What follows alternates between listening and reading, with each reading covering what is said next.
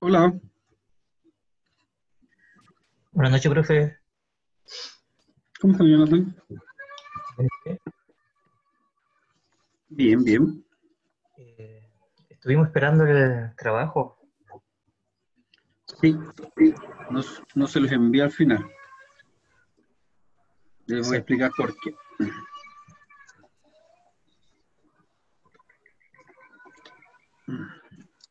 Yo con- Llevo un curso en paralelo con ustedes, que es de los días martes. Entonces, eh, me explicaban que esta semana bueno, estaban terminando con todo el otro ramo. Entonces, eh, estaba medio complicado. Entonces, eso, eso significa tirarle otro trabajo más encima, entonces preferí evitarlo. Y como sí o sí tengo que man- mandarles uno ahora, vamos a quedarnos con ese, este- esta evaluación. Eh, va a reemplazar la, el- la, la clase que, que quedamos pendiente. Así quedan solamente con una, una tarea y no dos. Ya. Ese fue el, ese fue el motivo. Ya. Ya, hoy queda un poquito.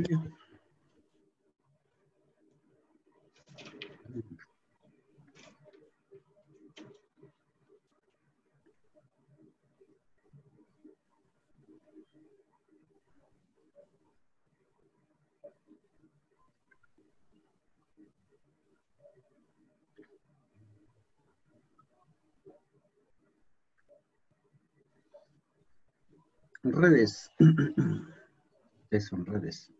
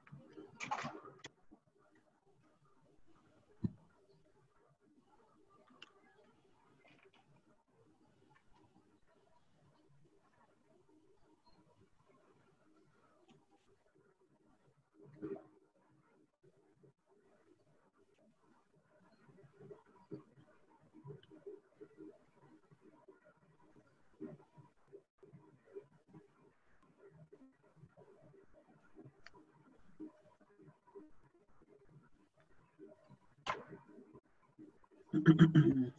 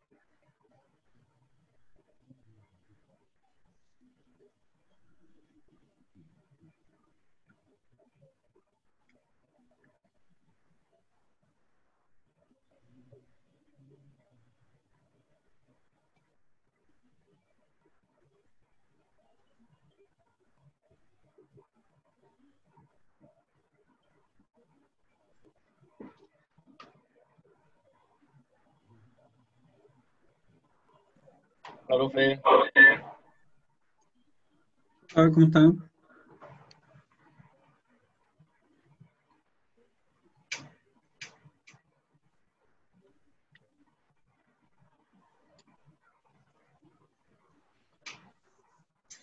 Uy, ¿qué pasó? Tan poquito que somos hoy día.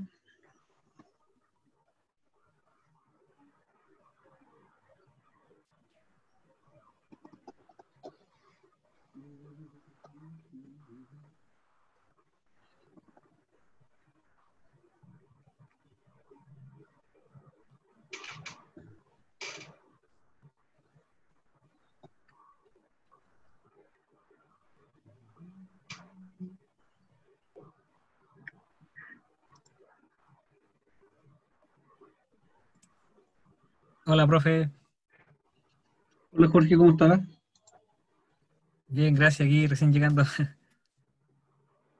Qué bueno, lo estábamos esperando. Qué bueno.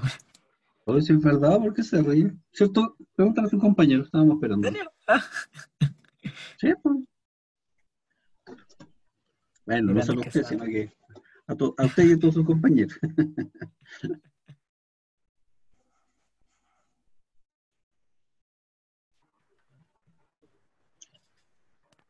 Voy a dejar aquí la asistencia porque antes siempre se me olvida. Sí, para que no se me olvide, la vamos aquí a mano.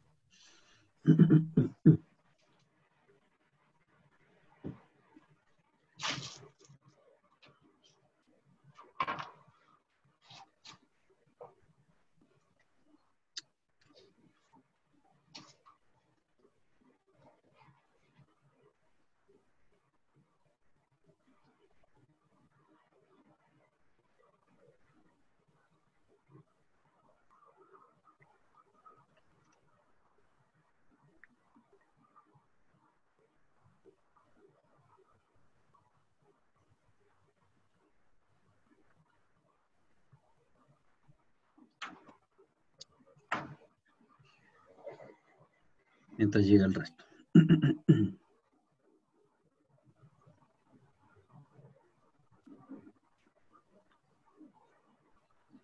Oiga, cuénteme cómo, cómo han estado. Estamos ya en la, en la recta final.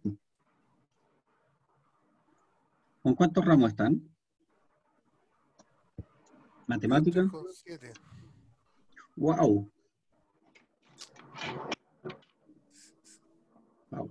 Está, está con la carga acad- académica bien alta. Sí.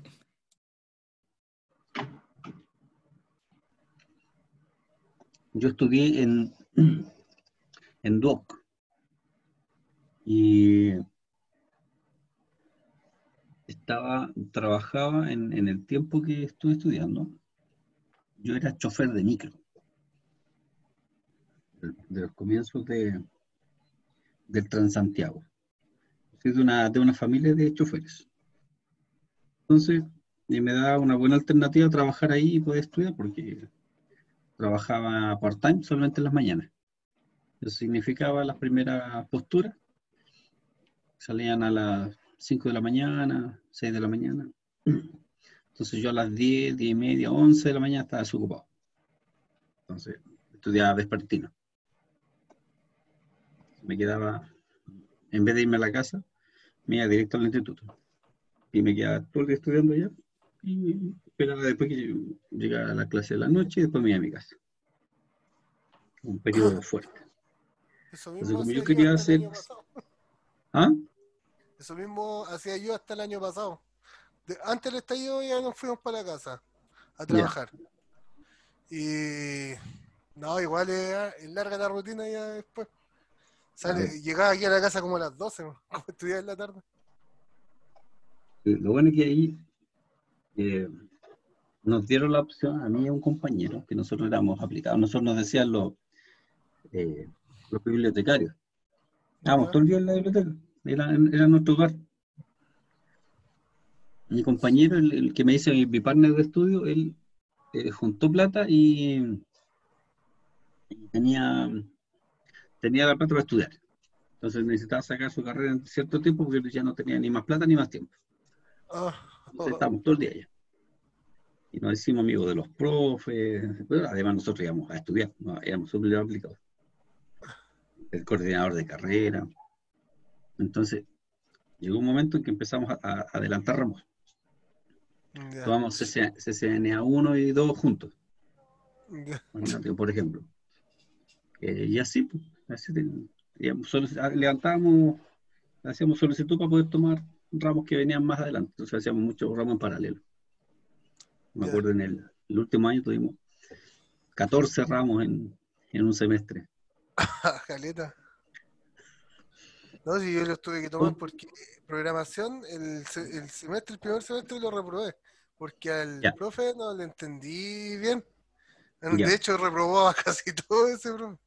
Entonces, cuando yo dije, venía preocupado igual este semestre, y no quería atrasarme más, entonces tomé más ramos. Ya. Y, y venía preocupado por programación porque igual como el profe empezó me costó más con él. Pero cuando usted empezó a explicar cómo era el tema, ahí lo empezó a entender y con los ejercicios antes de la prueba, ahí ya me fui por un tubo con los ejercicios. Bueno, buenísimo. Claro. buenísimo. Yo tomé esa, modelo- esa metodología porque por lo general el, el alumno le cuesta estudiar. Aquí estamos. Sí, Nos cuesta estudiar. Y, y- y muchas veces el alumno estudia algo y resulta que llegó a la, a la prueba y se encontró con otra cosa. claro. Entonces, entonces aquí matamos dos pájaros de un tiro. Vamos Es súper bueno tareas. porque es súper bueno porque uno en, en la práctica aprende más. Claro, claro. Practicándolo uno aprende más que teóricamente porque uno, bueno, eso me pasa a mí por lo menos. Mm, a todo. Yo ejecuto y de ahí lo aprendo. Eso es lo que hago. Ahí te queda. Claro, claro. Y como, como, como te digo, uno como estudiante, eh, ah, si no, si no la obligación de hacer una tarea, ya pescáis uno que otro ejercicio, pero no lo hacéis todo. Sí, Entonces, si, te- si- si tienes que hacer una tarea con nota, estás obligado a hacer el ejercicio. Por lo tanto, estás obligado a estudiar. Y terminaste de hacer la tarea y eso te, te- te deja fresquito para lo que viene. claro. Por eso tomé esa, esa metodología que la, o sea, a mí por, por lo menos, por lo menos me ha dado resultados. ya, que bueno, Claro. me alegro. Profe, Me alegro, me consulta. alegro. Sí, dígame. ¿Usted va a hacer eh, base de datos el otro semestre? Eh, no Ojalá, sé. pues. no sé. Ojalá que no me cambien el, el modo. pues. Claro. Eh, es que no, no sé, no sé cuántos, cuántos cursos hay, cuántos, cuántos profes, cuántas carreras, no. Mm, Yo, si me, llaman, yo aquí estoy, pero Claro. esperemos que sí, esperemos seguir. ¿Usted viene de Alonso Valle? No, yo entré el año pasado así. Y estaba, sí, sí, y estaba partida ahí en, en República, Mm. ahí hacíamos clase presencial. del DUOC de Alonso. Ah, del. DUOC me dice usted. Ah, no, yo estudié en el DUOC de, en el DUOC de Plaza Oeste. Empecé en Puente Alto, empecé en Puente Alto el- el mi primer semestre, porque mi familia es de allá, de mi- mis padres. Y así me fui a vivir con ellos esa época para poder estudiar. Y, y después me cambié a Maipú. Me vine a, y mi pareja era de acá en Maipú. Entonces me vine para acá para estar más cerca de, de mi señora y mi hijo. Buenas Ahí noches, terminé- profe. Terminé en, en Plaza Oeste. Hola, Nelson. Disculpe la interrupción. No se preocupa. Se Es que si está compartiendo pantalla, no se ve. Por lo menos yo no la veo. Sí, yo la veo. Eh, Ah, la podría ¿Sí? compartir de nuevo, que me, me tiene un error, porfa. seguramente donde entró recién. Sí. Ahora, Sí, Sí, gracias. no hay problema. Así que eso, eso. La vida del estudiante es dura. Es dura, pero vale la pena. Vale la pena sacrificarse, después viene la, después viene la recompensa. Así que hay que aplicárselo. Bueno, por lo menos a mi alrededor, así, mis amigos, eh, se sacrificaron los años que yo trabajé en realidad. Yo me dediqué a puro trabajar y ellos ahora ganan bien y uno queda atrás, pues. Yo vi eso y me di cuenta, pues, sí. Así es. Así- Yo igual, yo estudié, yo estudié tarde. Yo estudié tarde también. O sea, estudié cuando salí del colegio, me fue re bien en la prueba, la prueba de aptitud académica en esos años, entré a la USACH, pero por temas de Lucas no pude seguir estudiando. Claro. Estudié dos años de ingeniería civil en informática. Y de ahí no tenía más, más, más plata, así que no me dejaron matricularme de nuevo. Así que dije yo, ya voy, voy a trabajar, voy a, con, con lo que trabaje pago la deuda y sigo trabajando. Y así se me pasaron los años, 10 años, 15 años y nu- nunca retomé. ya. Entonces después ya de viejo, cuando de- dejé embarazada a mi señora, ya dije, tengo que estudiar. Tengo que estudiar porque bien tenía una buena pega, pero tenía un techo. Tenía un techo por- porque no tenía título. Entonces ahí me, me vine a, me- retomé mi estudio.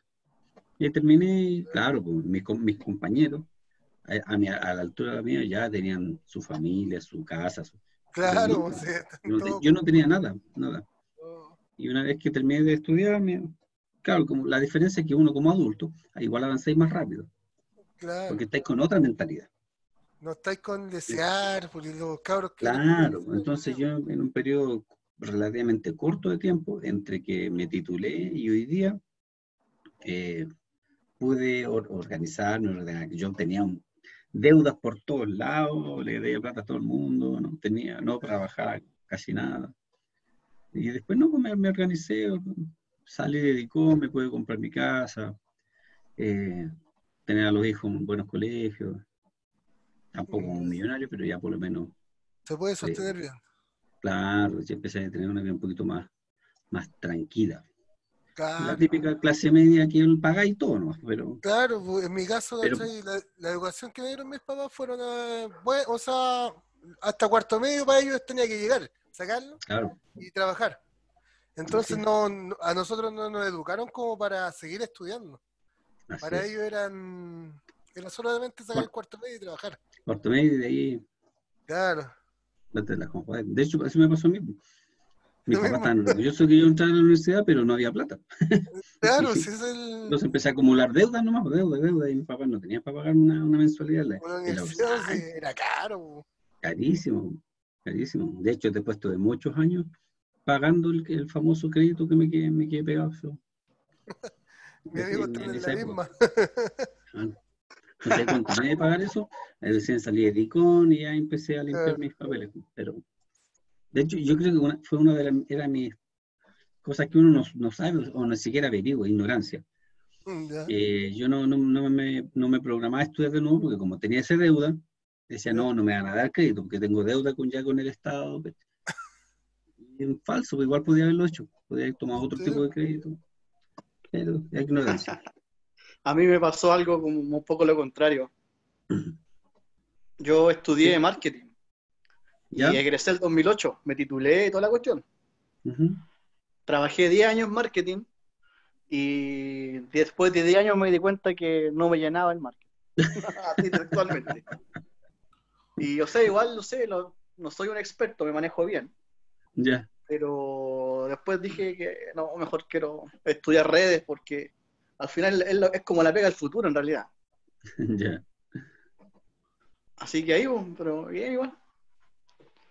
Lo importante es que les guste después, Sí, que les guste, los llenen. sí. Yo estudié en. San Carlos Poquinto, en el Duoc. Ya.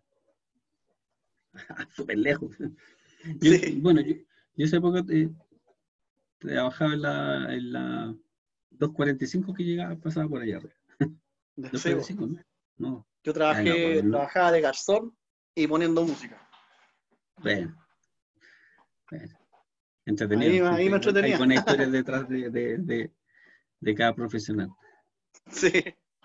Ya, muchachos, démosle porque se nos pasa el tiempo. Y esta es nuestra última clase. Es nuestra última clase de la noche. ¿Ya? A ver, eh, redondeemos eh, lo que estamos. Hoy día vamos a pasar la, la última materia, que mm, me parece que no alcanzamos a ver la semana pasada, que es acerca de las funciones. Ya nosotros la semana pasada vimos eh, manejo de, de string. ¿Ya? Y hoy día vamos a ver creación y uso de funciones. Eh, eh, si bien es- súper importante porque va a ser parte de la, de la última prueba, no es muy complicado. Es prácticamente tomar lo que ya sabemos y empaquetarlo. ¿Ya? Así que la lógica de la programación que vamos a aplicar va a seguir siendo exactamente la misma, pero ahora lo vamos a empaquetar en una función. ¿Ya? Eso es lo que vamos a ver. Y con, este, con eso cerramos eh, la materia de este semestre y mañana queda habilitada la, la última tarea que obviamente les va a servir para estudiar para la última solemne. ¿Ya? Si, si alguien porque bueno, la próxima semana como solemne, ustedes saben que yo voy a estar a esta misma hora respondiendo preguntas para, eh, para la solemne. Usted sabe que la solemne se, se habilita también el próximo jueves durante todo el día para que la entreguen. Eh, se cierra a las once y media de la noche, creo, y entonces yo voy a estar a esta hora. En caso que ustedes tengan preguntas acerca de la solemne, voy a estar aquí para contestarlas. ¿ya? Después de eso, eh, se, cierra, se cierran las notas, y si alguien quedó con alguna prueba eh, pendiente, tiene opción el siguiente jueves, veamos con fechas, hoy estamos a 2, eh, la solemne es el 9, y eh, la siguiente clase sería el 16, pero el 16 creo que es feriado, ¿cierto? Creo que es feriado 16. ¿Alguien me puede confirmar eso? La Virgen del Carmen, algo así. A ver. Debería ser feriado. ¿no?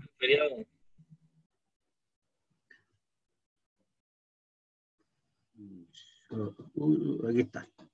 Sí, es feriado. Jueves 16 de julio, día de la Virgen. Por lo tanto, eh, como ese jueves es feriado, correspondería a ese día eh, la rendición de examen recuperativo.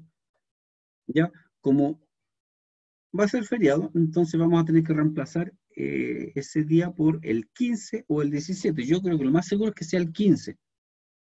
¿Ya? Porque yo los 15 no tengo clase. Entonces, eh, hay una ventana súper bien para, para hacerlo.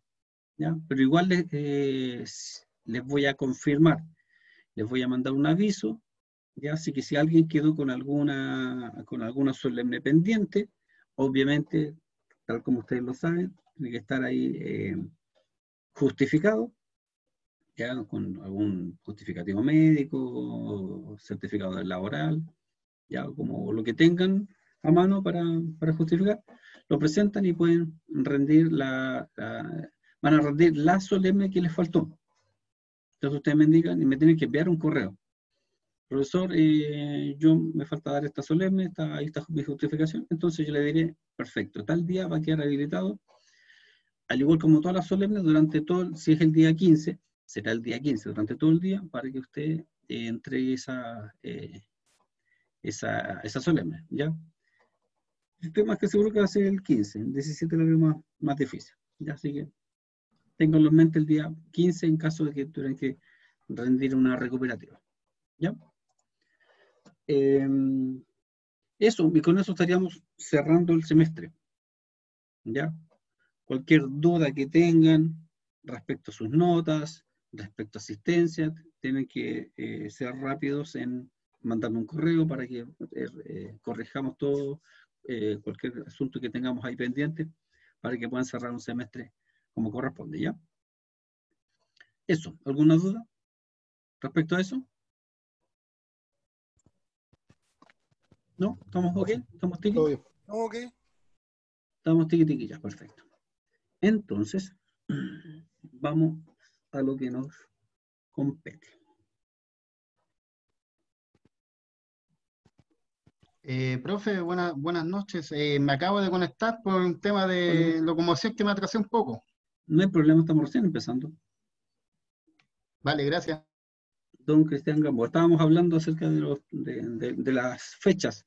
La solemne la próxima semana y la semana subsiguiente, el día 15, día miércoles 15, eh, sería la fecha para la recuperativa en caso que tengan eh, exámenes pendientes. ¿Ya? Buenas noches, profesor. Buenas noches. Profe, no estoy presente. No, porque estoy, todavía estoy recién pasando la lista. Tranquilo, Ignacio. Ya. Eh, eso, eso. Ya, a ver, pasemos la lista mientras tanto. Está Andrés Alcaide, Marcelo. Bravo, Presente, profe. Buenas noches. Disculpe que no había saludado, que estaban conversando ahí tan No hay animadamente. problema, no hay problema. Eh, Javier Campos. Mauricio Celis. Presente. Perfecto. Eh, Ricardo Contreras.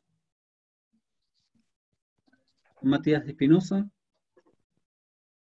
Diego Fuentes. Presente, profesor. Jaime Guerra. Nelson Herrera. Acá, profe. John Isamid. Ignacio Jarquera. Presente, profe. Está Ignacio. Eh, Julio Mancilla. Alfondo Mi- Alfonso Miranda. Juan Molina. Christopher Montesinos. Juan Padilla. Francisco Ramos. Henry Villalba. No hay más. Ya, después retomaré. Falté yo parece, profe. Jaime Hernández. No, parece que ya los puse. Ya los había. Tampoco Ah, ya, ya lo había puesto. Ahí están. Sí, ¿ven mi pantalla? Ahí están. Sí, Sí, Profe. ya, lo- ya los había puesto. Sí, ¿alguien me Profe, una consulta. Sí. ¿Usted sabe si el próximo semestre también va a ser online o ya vamos a tener clases presenciales ya? Todo va a depender de, cómo se mantenga a nivel país. Ya, vamos alineados con eso. Si, a nivel país dice se acabó la cuarentena y volvemos a la normalidad, sobre todo con el Ministerio de Educación. Si el Ministerio de Educación dice los colegios vuelven a- a clases, ustedes no son colegios, pero nosotros seguramente nos seguimos a ese, a ese ritmo. Así que si los colegios vuelven a clases, seguramente ustedes también. ¿Ya? Así que Ah, todo depende de eso. Oiga, y otra consulta, la última duda. eh, ¿Sí? ¿Cuándo empieza el segundo semestre? ¿En qué fecha? No lo tengo claro. No tengo, no tengo el calendario. Pero Ah, ya. debería ser la última semana de julio o la primera de septiembre, de, de agosto, por ahí. A ver. Creo que están viendo mi pantalla, ¿cierto? Sí. Si no me equivoco. Aquí está, calendario académico.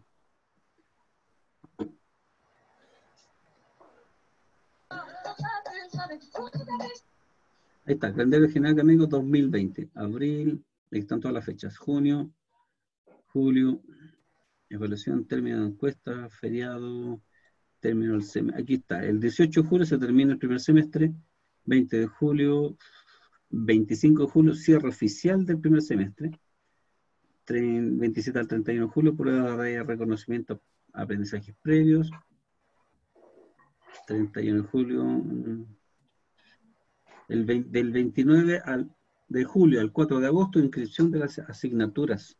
La primera semana entonces de agosto la- eh, empieza la, la inscripción de asignaturas. Mm, Del 3 al 7, reuniones titulados, encuentros docentes, bla, bla. 3 de agosto, bienvenidas ISA, curso de inducción, curso de inducción, inicio de clases, aquí está.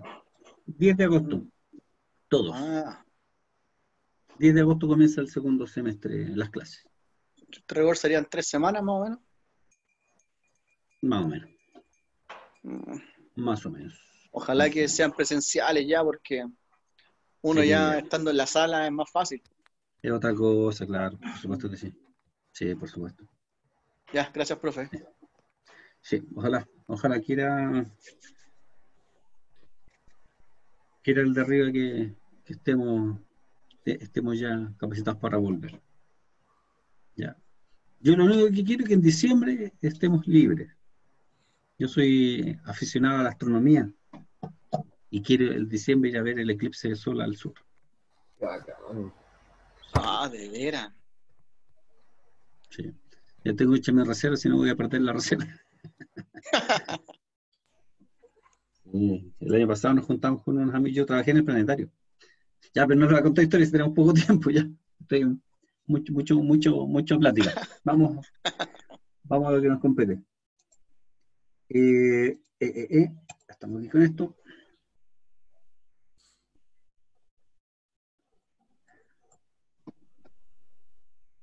Voy a compartir una PPT, esta no, no está arriba, se las voy a subir después, ¿ya? Python y funciones personalizadas. Ya vamos a revisar la construcción de funciones personalizadas en Python. ¿Ya? ¿Qué son las funciones personalizadas? Crear funciones es algo inevitable en cualquier tipo de aplicación. Una función es, un, eh, es una pequeña porción, ¿cierto? O un bloque de código que se reutiliza. Así como nosotros, por ejemplo, reutilizamos eh, código cuando, cuando generamos ciclos, ¿cierto? Recuerden que cuando empezamos a ver ciclos, eh, todos eh, los ciclos parten porque uno va reconociendo eh, que hay, repetición de patrones. Uno, puede ir generando un, programa y va viendo que se me repite un if. Si pasa esto, haga esto. Si pasa esto, haga lo otro. Si pasa esto, haga esto. Entonces se, repite, el, patrón es bien, parecido. Entonces uno se va dando cuenta que esto, si el patrón se está repitiendo, significa que a lo mejor puedo tomar, ese, pedazo de código y meterlo en un ciclo y solamente voy cambiando las variables, porque hace lo mismo pero con distintas variables. Y ahí uno se da cuenta, ah, esto lo meto en un ciclo. En la función es algo muy parecido. Muy parecido. O sea, si yo en cierta parte del código generé una suma, por ejemplo, o, mandé a llamar a un, a un ciclo, o utilicé un ciclo, pero resulta que después vuelvo a llamar a ese mismo código, entonces, ¿para qué lo voy a escribir otra vez? Entonces mejor creo una función, ¿cierto? Esa función que contenga a este trozo de código, y así después yo lo puedo llamar simplemente, sin tener que estar escribiendo, escribiendo exactamente lo mismo. Es como tener una calculadora. ¿Ya? Yo no tengo para qué estar escribiendo eh, el cómo hacer una suma, el cómo hacer una resta, ¿ya? Simplemente utilizo una calculadora y la voy a utilizar n veces. La, la calculadora en sí es una función. O yo puedo crear una, una función por cada, eh, por cada operación ari- aritmética. ¿Ya? No escribo cada vez que yo quiero sumar algo, sumar, sino que llamo a una, función sumar que ya existe, por ejemplo. ¿Ya? Python es un lenguaje que nos da mucha eh, flexibilidad al momento de crear funciones. ¿ya? Eso es lo que vamos a ver ahora. Como ya comentábamos, una función es un bloque de código con un nombre asociado que, que recibe cero o más argumentos, es decir, puede que no reciba ningún argumento, como puede que reciba n argumentos. ¿ya? No, no está amarrado a que te- tenga la obligación de recibir argumentos. ¿ya? Puede no llevar ninguno. ¿ya? O de lo contrario, puede también llevar eh, uno o más argumentos. Todo depende de qué, de, de qué, es- qué o para qué queremos la función. El uso de funciones es un componente muy importante del paradigma de la programación llamada estructurada. ¿Ok? Y tiene varias ventajas. Dos de las más importantes es la modularización y la reutilización. La reutilización es lo que, lo que les acabo de comentar, el ejemplo, ¿cierto? Y la modulari- modularización significa que se permite segmentar un programa complejo, ¿cierto? Utilizando, eh, utilizando varias partes.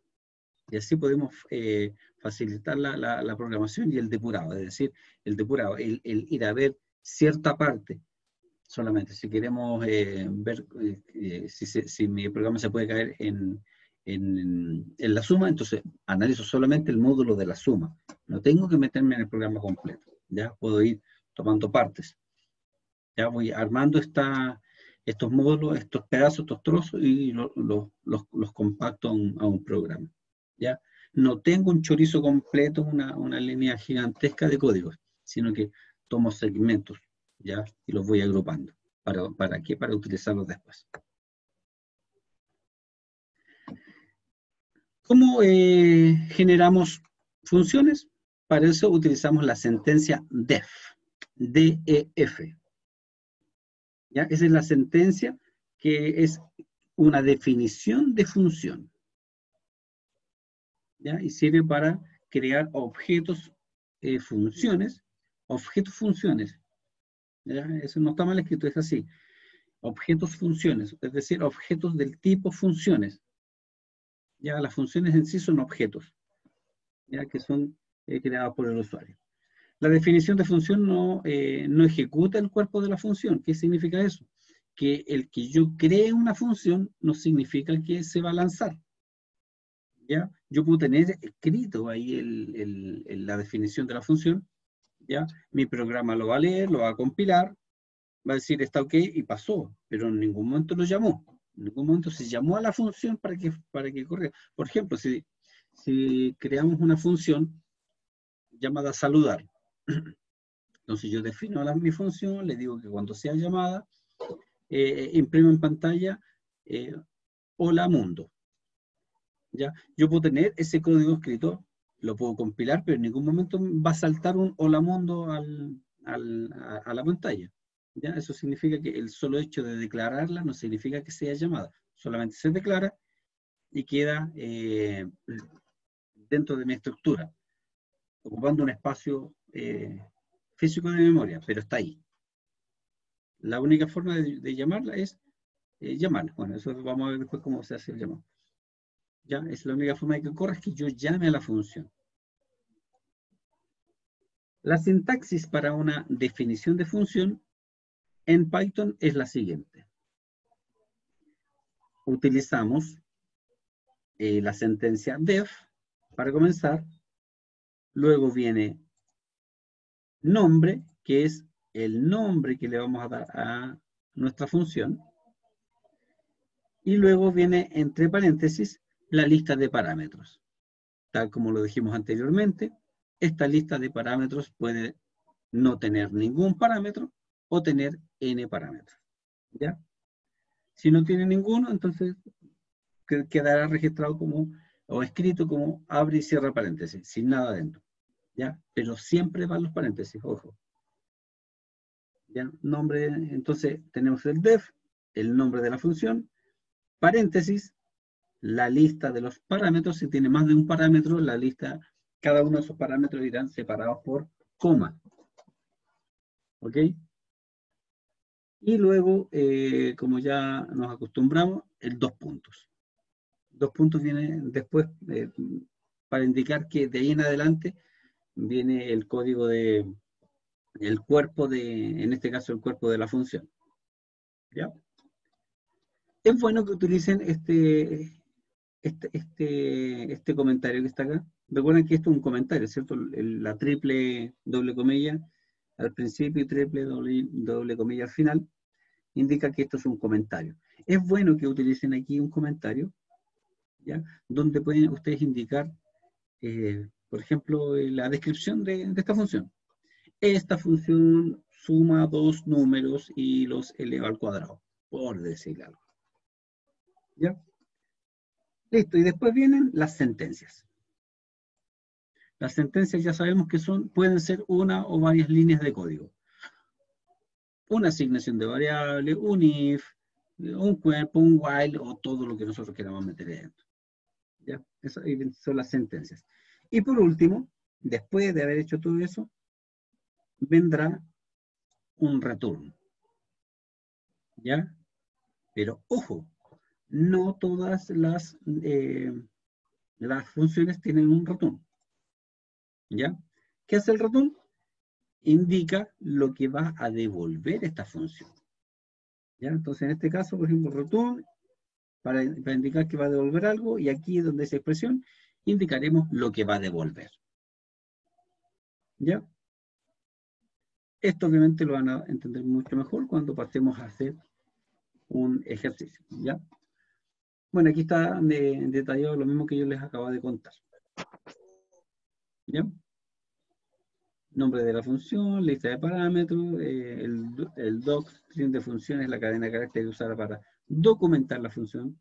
La sentencia es el, el bloque de la sentencia de código de, que Python va a realizar y cierta eh, operación dada.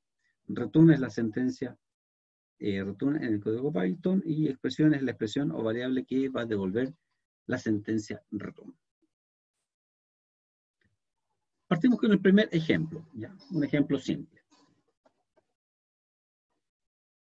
En la primera línea, en color verde, ahí aparece def, ¿cierto? Vamos a poner un poquito más grande. Está def. Dame un segundito. Eh, que es la eh, palabra reservada, ¿cierto? La sentencia para declarar que yo voy a, voy a crear una función. Entonces, def hola. Entonces, ¿qué estoy acabo de hacer? Crear una función llamada hola. Y esta función hola recibirá un argumento. Ya, en este caso el argumento se va a llamar ARG. Luego, eh, es- escribo ahí un, un código comentado donde yo puedo poner información acerca de la función. Y eh, esta función lo único que hará, hará un print.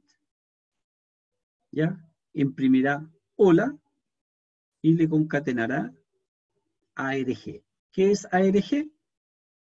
La variable, ¿cierto? El argumento con el que eh, se va a ingresar a mi función llamada hola. ¿Ya? Entonces va a concatenar el string hola con el argumento. Y después le va a concatenar además un signo de exclamación al final. ¿Listo? Y hasta ahí, esas tres líneas, construyeron mi función. Esa línea, la que dice def hola, la línea del documentado, y el print. Eso es toda mi función. Entonces, ¿cómo se llama la función? Hola. ¿Recibe argumentos? Sí, recibe uno. ¿Cómo se llama el, argumento que voy a ocupar? Ojo que este nombre AR ARG es una variable que funciona y solamente aquí. Va a funcionar solamente aquí dentro de mi función. ¿Ya? Entonces aquí la puedo utilizar. Cuando yo digo print hola, ARG, la puedo utilizar porque es una variable local que va a funcionar solamente aquí dentro de la función. Listo. Entonces la función se llama hola, recibe un argumento y ¿qué es lo que hace? Imprime hola y concatenado con él eh, el valor que le dimos a ese argumento. Entonces lo que aparece acá abajo, la siguiente línea que, que- dice hola, entre paréntesis plum, esta línea no es nada más ni nada menos que el llamado a la función. Acá, imagínense que estamos en, el, en la línea de comando de, de Pichar, por ejemplo. Si nosotros ponemos hola, entre paréntesis y un, y un, eh, un argumento acá adentro, lo que estoy haciendo es llamar a la función hola y pasarle como parámetro o argumento el string plon. ¿Ya? Y la respuesta a este, a este llamado va a ser hola plon. ¿Por qué? Porque al llamar a esta función, el, el programa se dirigió a donde está la definición de función, la variable ARG tomará como propia el parámetro que le indicamos al, llamar la función, es decir, plon, lo tomará acá, y hace la impresión en pantalla de el texto hola concatenado con el valor de ARG que es plon. Y al final le concatena un signo de exclamación, quedando la cadena de caracteres hola plon y el signo de exclamación. ¿Ya? Así de simple y así de sencillo. La programación que nosotros hemos visto hasta el día de hoy es lo que va acá adentro. Cuando dice print hola, esto es un- una simple impresión en pantalla, una concatenación de variables, ¿cierto? Y que le agregamos es que ahora esto lo empaquetamos. Ustedes dirán, pero ¿para qué? Pues, profe, perfectamente me podía ahorrar- haber ahorrado toda esa cantidad de líneas y haber simplemente escrito print hola. Sí, sí, efectivamente, para este caso, que es un caso simple, es mucho más fácil simplemente escribir, concatenarle hola plon en vez de estar haciendo un llamado a la función. Sí, absolutamente sí, pero es un ejemplo válido, porque de lo simple nos vamos a ir pasando a lo más complicado. Dígame. Este, disculpa, esto vendría siendo como más o menos como un macro en Excel, que se puede grabar algo y luego volver a llamarlo cuando uno puede. Claro, claro, algo parecido. Algo muy parecido. Profe, lo eso que básicamente. Disculpa, compañero. Sí, no, adelante. Esa era la, la duda, era como para, para relacionar. Disculpe, compañero, que estaba medio desfasado, por eso no le interrumpí. Eh, profe, no le quería hacer una consulta. Esto venía siendo Bien. básicamente, si yo le pongo 1 más 1 más 1, en vez de ponerle que salga ese resultado, le pongo resultado nomás. Algo, bás- básicamente eso. Básicamente, algo así. O sea, por ejemplo, yo Básicamente 1 eso. más 1 más 1, le pongo y sale el resultado, to- to- total. Claro, Entonces, en vez de poner 1 más 1 más 1, solamente le pongo resultado. Algo así. Algo así, algo así. Claro, es- sí, para hacer un ejemplo súper sencillo, sí, es, es algo así. Veamos si tenemos más ejemplos y vamos a ir viendo. Ah, Esto es una, eh, esto es una función ya más complicada. Ya aquí se define una, la función f y b que recibe un argumento n. ¿ya? ¿Y qué va a hacer esta, esta función? Va a escribir la serie de, los, de números Fibonacci. ¿Ya? Los números Fibonacci son números bastante entretenidos que se utilizan en química, en, en, en dibujo. Son bien entretenidos.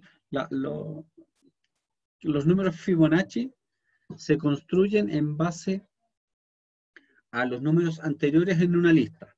Por ejemplo, si yo quiero empezar a escribir eh, los números Fibonacci, siempre parten con el 0 y el 1.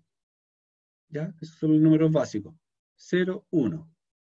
El tercer número de esta lista sería la suma de los dos números anteriores. ¿Ya? Entonces, el tercer número de la lista sería 1 nuevamente. Porque 1 es la suma de 0 y 1. Entonces ya mi- tengo mi- mi- los tres primeros elementos de la, de la lista de los, de los números Fibonacci. 0, 1 y 1. El cuarto elemento de esa lista sería la suma de los dos números anteriores, es decir, el 1 más el 1. Por lo tanto, el siguiente el número en la lista sería el 2. Entonces ya tendríamos 0, 1, 1, 2. El siguiente elemento sería 2 más 1, ¿cierto? Por lo tanto sería 3. Entonces ya tenemos 0, 1, 1, 2, 3. ¿Cuál será el siguiente elemento? A los que estuvieron atentos. El 5. Excelente. ¿Por qué? Porque la suma de los dos anteriores, que era el 3 y el 2, ¿cierto? Entonces tenemos 0, 1, 1, 2, 3, 5. ¿Cuál será el siguiente? El 8. 8. ¿Y el siguiente? 13. 13. ¿Y al siguiente? 21. 21 y así sucesivamente. Esa es la serie de números Fibonacci. Entonces, est- esta función que usted está viendo acá construye eh, una lista de los números Fibonacci, pero no puede ser infinita. Por lo tanto, el n es el hasta, por decirlo de alguna manera. ¿Ya? Esto lo podíamos copiar. Copiémoslo y lo vamos a lo vamos a lanzar en un eh, en nuestro Python, ¿ok? Vamos a abrir Python, donde lo tengo.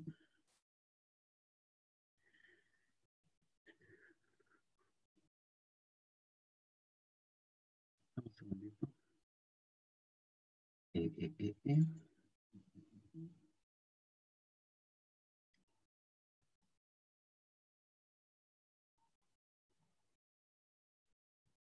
Oh, se me perdió.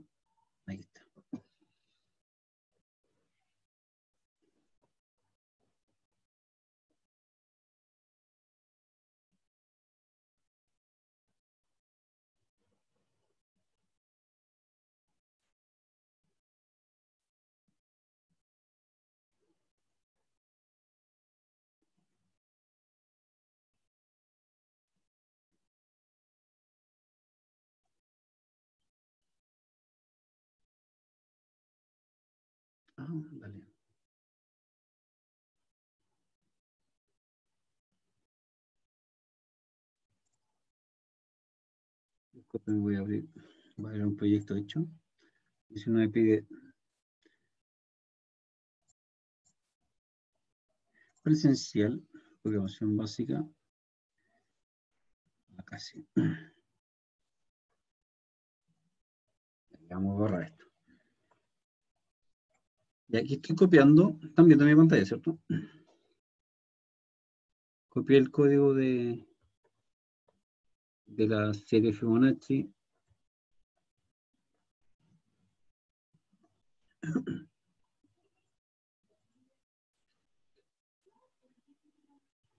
¿Qué pasa aquí? ¿Qué pasó aquí? ¿Qué pasó?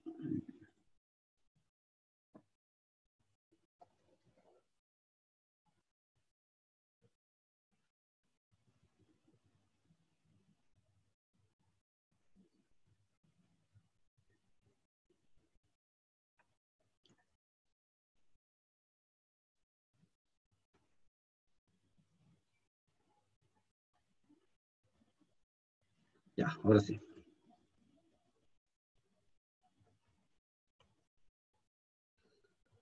Ya.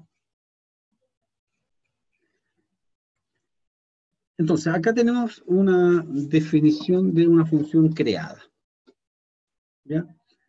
Eh, vamos a comentarla. Primero vamos a, vamos a hacer una, una más sencilla.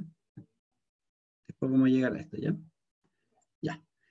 Dijimos que para crear una función utilizamos entonces el def. Supongamos que queremos crear una función que eh, dé un saludo de bienvenida. ¿Ya? Entonces definimos una función llamada saludo eh, que no va a recibir parámetros. Por lo tanto va a ser dos puntos y nada. ¿Qué va a hacer esta función? Le voy a decir que esta función imprima en pantalla, es decir, haga un print, y me imprima eh, un saludo. Hola mundo. Eh, bienvenidos al curso de programación básica. ¿Cierto? Bla, bla, bla. ¿Ya? Entonces a alguien se le ocurrió hacer esta función porque la verdad es que tenía que escribir muchas veces ese saludo. Entonces, no, o sea, que estoy aburrido tener que escribir todas las veces lo mismo. Estoy, estoy, estoy haciendo, eh, escribiendo código de más. Entonces, nada, entonces metámoslo dentro de una función que se llame saludo. ¿ya? Entonces, por cada vez que usted abra el programa, entonces simplemente llame a la función saludo. ¿Cómo se llama? Fíjense que acá, que me faltó el comentario. Esta función es para imprimir un saludo. Esto se me sirve para, para autodocumentar mi función, ¿ya? Y además me da la razón de qué, para qué sirve esta función. ¿ya? Entonces eso es lo bueno de los comentarios. ¿ya? Uno, aquí obviamente nosotros sabemos lo que es, pero si eh, esta, función, esta función fuera mucho más grande, tuviera mucho más líneas de código, que, que, no fueran tan fáciles de entender, entonces a lo mejor es bueno tener acá un buen comentario que me indique qué está haciendo esta función. Si tiene parámetros, cuáles son los parámetros, qué es lo que está pidiendo, qué va a hacer con los parámetros, ¿ya? Para eso me sirve esta, esta línea, para documentar la función. ¿Ok? Después viene el cuerpo de la función y fíjense que no tiene un, un no devuelve nada esta función. ¿Ya? No está devolviendo nada. No es necesario poner un ratón si no necesito que devuelva nada. Lo único que va a hacer esto es imprimir algo en pantalla. ¿Ya? Lo está, lo está imprimiendo al tiro. Listo. Ahí, ahí ya está creada la función. De hecho, si yo le pongo play acá, lo echamos a andar, me dice que no tiene un... Eh, estas configuraciones. Me está viendo el intérprete. Ahí le doy el intérprete para que sepa cómo interpretar el texto. Ahora sí lo echamos a andar. Y me dice que me falló algo. Me está leyendo todavía. No le falta poner la variable de saludo. No, acá me está tomando este. Acá. Me está tomando acá. Este, esta parte como parte del código. Ahora sí. Ahora sí que sí. Listo. Ahí lo echamos a andar. ¿Qué hizo? Nada. O sea, no es que no haya hecho nada. Sí hizo algo, pero a nivel de la vista del usuario, no hizo nada, no imprimió nada y ya, y ya se terminó ya. ¿Por qué? Porque yo lo eché a andar y ¿qué hizo? Creó la función saludo. Tal como lo dijimos cuando estábamos leyendo la materia, el solo hecho de crear la función no significa que ésta se vaya a ejecutar. Simplemente la creamos. ¿Qué tenemos que hacer ahora si queremos verla funcionar? Tenemos que llamarla. ¿Cómo la llamamos? Por su nombre. Saludo. ¿Tiene argumentos? No tiene argumentos. Entonces, lo, ma- lo llamamos sin argumentos. Y así, tal cual como ustedes lo ven ahí. Primero defino la función y después la llamo. Volvemos a echar a andar esto. Y ahora sí, imprime en pantalla. Hola mundo, bienvenidos al curso de programación básica, bla, bla, bla. ¿Ya? Entonces, ¿qué es lo, las dos cosas importantes acá? Primero, ¿cómo definimos una función? ¿Ya? El def para, es la sentencia para crear una función, el nombre de la función, la declaración de las variables si es que las necesitáramos, ¿ya? El cuerpo que obviamente va indentado, como todo lo que nosotros programamos en Python, tiene que ir indentado. Si esto yo le quito esa indentación, entonces deja de ser parte del, del, del def, ¿ya? Después de los dos puntos, todo lo que esté indentado después de los dos puntos es parte de esta función acá, como no, el print, la línea 3, como no está indentada, dejaría de ser parte. Entonces, si lo intentamos, ahora sí es parte de esta definición. ¿Ya? Entonces, el orden es muy, muy, muy importante. ¿Ok? Ya. Eso es lo primero. Lo segundo, ¿cómo llamamos a la función? Ya aprendimos a crearla y ahora tenemos que llamarla. No hay más lógica que eso, muchachos. Todo el resto, lo que va aquí en medio, en, esto es la programación pura, que es parte de esa función. Y todo lo que nosotros pongamos acá adentro es lo que nosotros ya estudiamos hasta ahora. Aquí adentro no hay nada nuevo. Todo lo que nosotros hicimos en algún momento, en, los ejercicios, en la solemne 2, perfectamente lo podíamos haber hecho con una función. Solamente que lo, lo- lo- lo podíamos empaquetar y lo podíamos meter dentro de una función para después llamarlo. ¿Ya? Entonces, pueden tomar cualquiera de los ejercicios que ustedes ya hicieron, los toman, los, los meten dentro de un llamado a una función y después al final lo llaman y les va a seguir funcionando igual. Como profe, ¿y usted nos podría mostrar un ejemplo? Sí. Por ejemplo, eh, a ver, aquí tengo un ejercicio 3.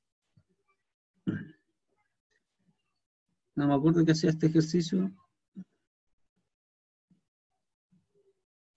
A ver, veamos otro. Ingresa una fecha para indicar. Ah, ¿se acuerdan de este de las fechas del. ¿Se acuerdan de esto, no? ¿Qué hacía con este? Indicaba si los meses eran verano o otoño. Las estaciones. Aquí está. Nosotros le, le pasábamos una fecha, ¿se acuerdan? Si decíamos el 25 de, del- de marzo del año 2020. La fecha está en 2. Ah, bueno, no sé si funciona. La fecha, ah, aquí tengo un ejemplo, no, está. Ya. Pero eso, supongamos que este, es un- este- esto funciona al 100%. Esto yo perfectamente lo puedo copiar completo, no lo voy a copiar, lo voy a cortar, control X. Y lo puedo meter dentro de una función. Defino la función llamada eh, Este es el ejercicio, ejercicio Estaciones del año, 2. constaciones. El ejercicio 2 sin parámetros, ¿cierto? Y aquí pego todo lo que corté. Ahí está. Tal cual, lo corté y lo metí, y lo metí dentro de una función. Ahora, si esto lo echamos a andar,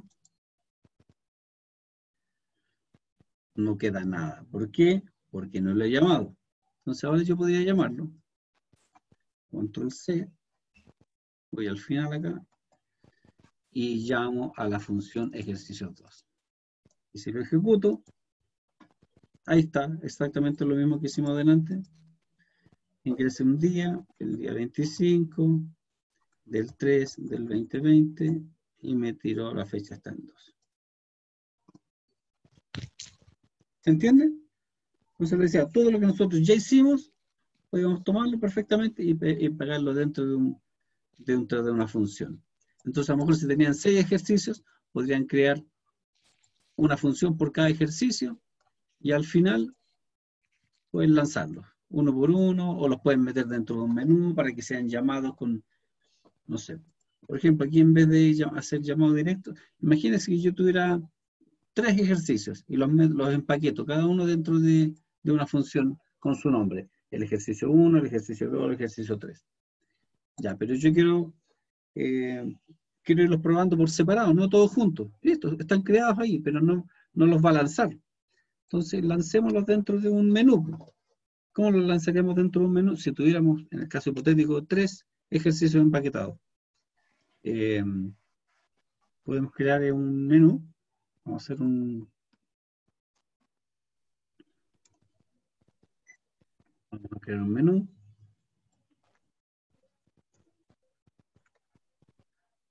Donde diga... eh,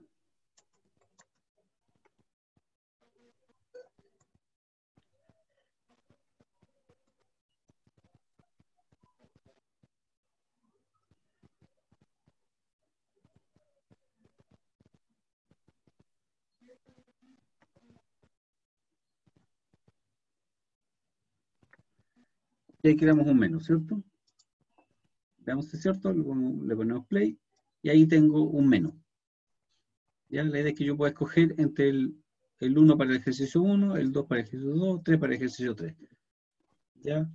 Y aquí yo pongo, porque yo escribí algo por pantalla ahora me falta pedir que el usuario seleccione el menú. Entonces hacemos un, creamos una variable opción para rescatar lo que va a ingresar el usuario. El ingresario, el usuario va a ingresar con un opción igual a un int.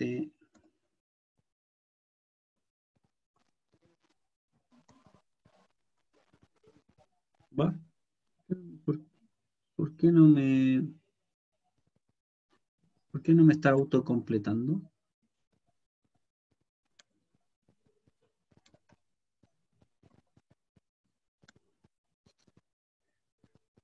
Qué raro. Mm. Ah, que es... No, no está corriendo. Qué raro que no me autocomplete.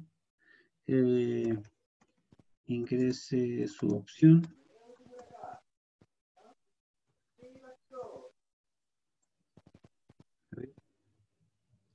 Su opción, la opción 1. Ya. Ya ahí tengo ahí para ingresar la opción. Y ahí una vez que ingresé la opción, eh, tengo que preguntar. pues. If option si es igual a 1, entonces llamaremos a Ejercicio 2. el ejercicio 1, suponiendo que tengo el 1. ¿Ya? Eh, no, me faltó. Si no, preguntaremos No, sí, sino si en la opción 2, entonces llamaré a la opción 2. a la opción 2, ¿cierto? Y puede llenar de con sinopsis. y terminar con esto. Y si en la 3, llamaré a ejercicio 3.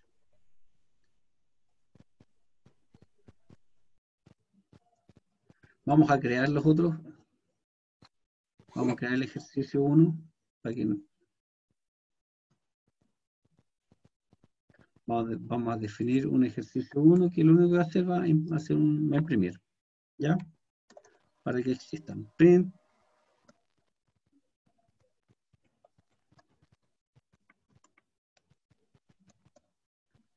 Este es el ejercicio 1. ¿Ya? Eh, ahí está el 2.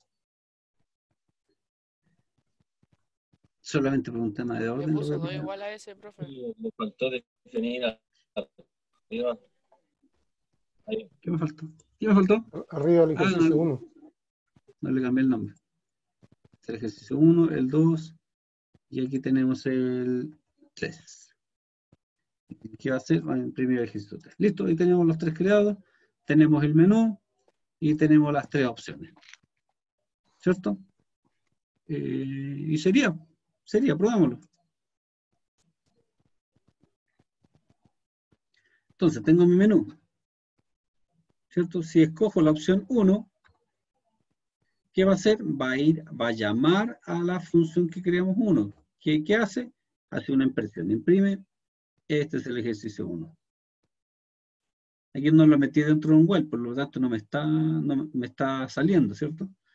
Arreglémoslo al tiro. Metamos este, este menú, metámoslo dentro de un while para que siempre me esté preguntando y hagámoslo salir con una opción distinta. ¿Ya? La opción 4 va a ser para salir. ¿Ya? Y esto lo vamos a meter, dijimos, dentro de un dentro de un while. Mientras la opción sea distinta de 4, porque 4 lo hace salir, entonces va a hacer todo esto.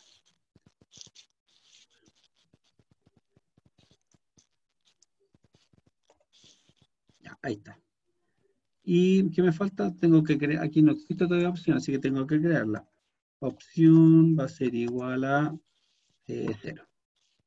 Cualquier valor que sea distinto eh, de 4, para que pueda entrar. Ya creamos opción solamente para obligarlo a entrar acá. Y ahí con eso va a entrar al menú y va a estar jugando aquí hasta que la opción sea 4. Cuando sea 4 va a salir. ¿Ya? Probémoslo. Ya, aquí tengo mi menú. Opción 1, ejercicio 1, ejercicio 2 es la opción 2, 3, ejercicio 3 y 4 para salir. Seleccionamos el 1. Este es el ejercicio 1 y me tira el menú otra vez. Eh, voy a escoger la opción 3. Ingrese, eh, no, me escribió, aquí está. Este es el ejercicio 3 y me volvió al menú. Ahora voy a escoger la, la opción 2 y aquí es donde me pide el día, ¿cierto? Ingrese el día, nuevamente el 25 del 3 del 2020 y me tiró que la fecha está en 2 y me vuelve al menú otra vez. Ahí para salir tendría que ser la opción 4 y ahí se fue. ¿Sí? ¿Se entendió? Entonces, si se fijan, la, lógica, la implementación de la lógica es exactamente lo mismo. Aquí no ha cambiado nada. Lo que agregamos ahora fue empaquetar eso que nosotros ya habíamos hecho o que podemos hacer de aquí en adelante, podemos empaquetarlo en funciones. ¿Para qué? Para hacer llamadas en algún momento. En este ejemplo, eh, para este ejemplo creamos un menú, ya donde nosotros escogemos alguna de las opciones y ¿qué hacemos? En cada una de esas opciones llamamos a la función que contiene al ejercicio 1, que contiene al ejercicio 2, que contiene al ejercicio 3. ¿ya? Con un simple if.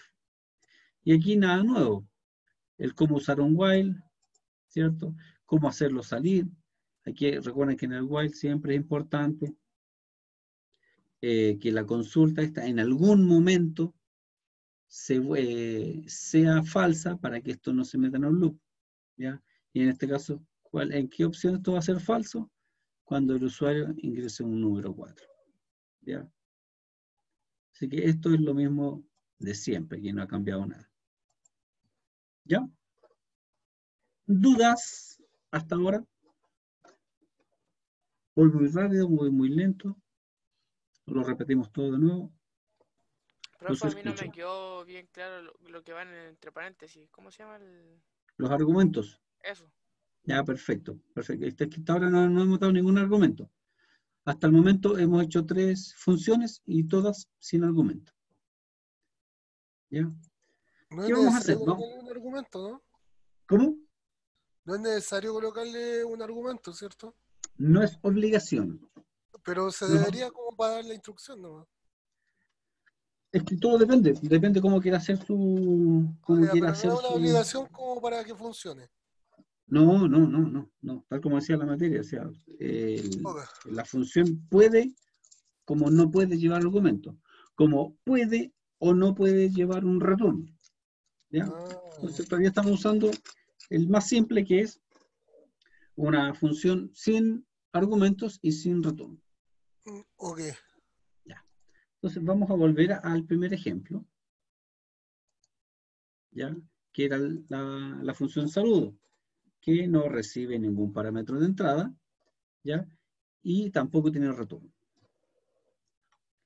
¿Por qué? Porque yo lo llamo tal cual, con su nombre y con, con sus tiene que Esto tiene que ir con paréntesis. Si yo le saco los paréntesis, digo, no, pero si yo estoy llamando, yo creé mi función saludo.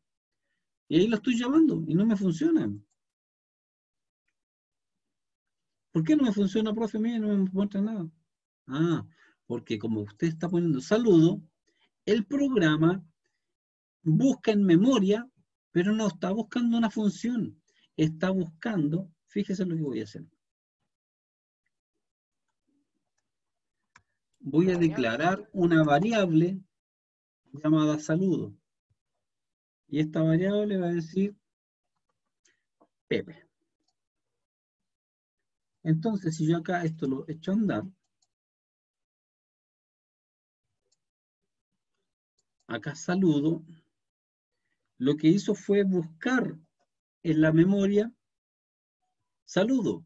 ¿Y dónde lo encontró? No lo encontró acá, porque como aquí está escrito sin paréntesis, lo buscó en las variables. El, intérprete piensa que usted aquí está haciendo, eh, está llamando a la variable saludo. Entonces la encontró, po, acá está, la encontró, Pepe. Pero tampoco la imprimió porque yo simplemente llamé a la variable, pero no le dije qué tenía que hacer con esa variable. Si yo le pongo aquí print,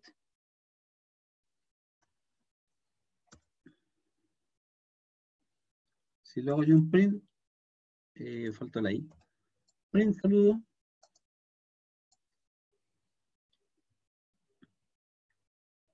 Tampoco me. Print, ¿qué me faltó?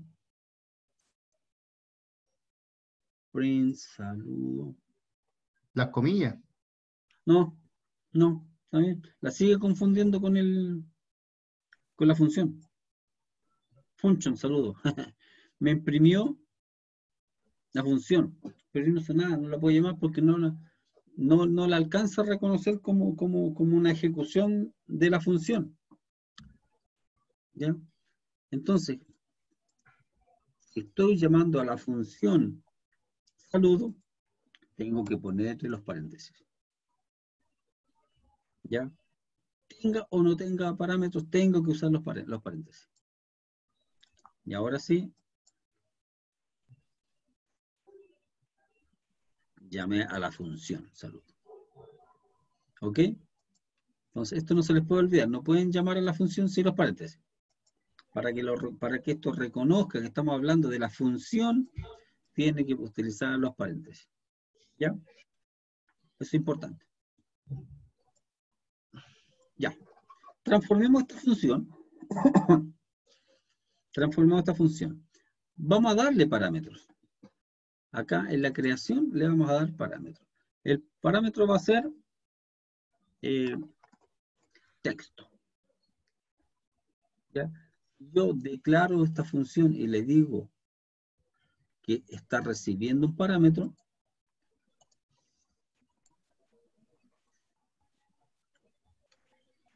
voy a ejecutar y me va a decir, me va a mostrar un error. Me va a decir que se esperaba, aquí está, eh, hay un elemento perdido, ¿cierto? Está esperando que yo aquí ingrese un atributo, una variable. ¿Ya? Estoy esperando que ingrese el argumento texto. Entonces, si yo la declaro con, una, con, una, eh, con un argumento, tengo que darle un argumento. ¿Ok? Tengo que darle un argumento. Ya. ¿Para qué le agregué este, este, este argumento? Lo que pasa es que voy a hacer lo siguiente. Vamos a hacer que imprima el argumento que nosotros le pasemos. ¿Ya? Entonces, cuando yo voy a llamar a la función, como le tengo que pasar un argumento, perdón, un texto, le voy a pasar un texto. ¿Ya? Entonces, a la función saludo le voy a pasar el, eh, el argumento hola. ¿Qué va a hacer él? Va a tomar ese hola y lo va a imprimir. ¿Ya? Y ahí está. Ahí está. Ahora, en vez de quizás poner hola, podemos poner lo que habíamos puesto antes. Entonces, saludo, y en vez de que el saludo vaya dentro de la función, yo se lo paso como parámetro, el, el texto que quiero poner yo en el saludo. De esa manera, hago una función que dependa de mi parámetro. Entonces, a lo mejor después yo quiero cambiar el saludo. Ya no va a ser hola mundo, va a ser hola Chile. Y resulta que la función no cambió, la función es exactamente la misma. Ahí está, no se ha movido. ¿Qué fue el que cambió? El parámetro. Entonces ahora ya no es hola mundo, ahora es hola Chile. ¿Ya? Entonces, sin parámetro, hará cualquier cosa que esté adentro y no se no, no, no, hace uso de, un parámetro exterior, ¿ya? Entonces se trabaja solamente con lo que tenemos a, nivel de la función, Pero si le damos un parámetro, podemos utilizar este parámetro. En este caso, eh, le estamos pasando el, el texto que va a imprimir. ¿Ya? ¿Se entiende la diferencia de una función con parámetro y una sin parámetro?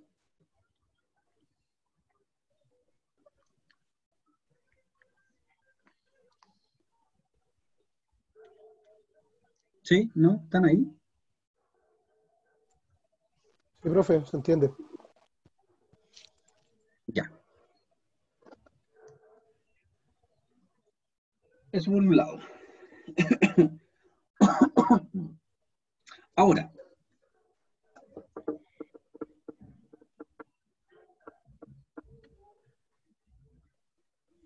¿qué pasa si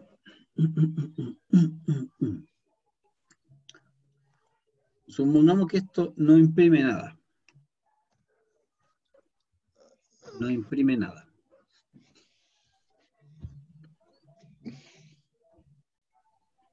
Vamos a hacer que esta función no imprima nada. Vamos a hacer que esta, esta, que esta función eh,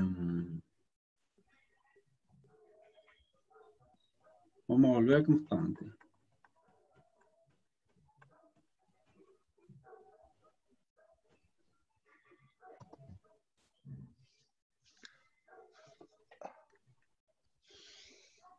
Vamos a decirle que eh, imprima lo siguiente.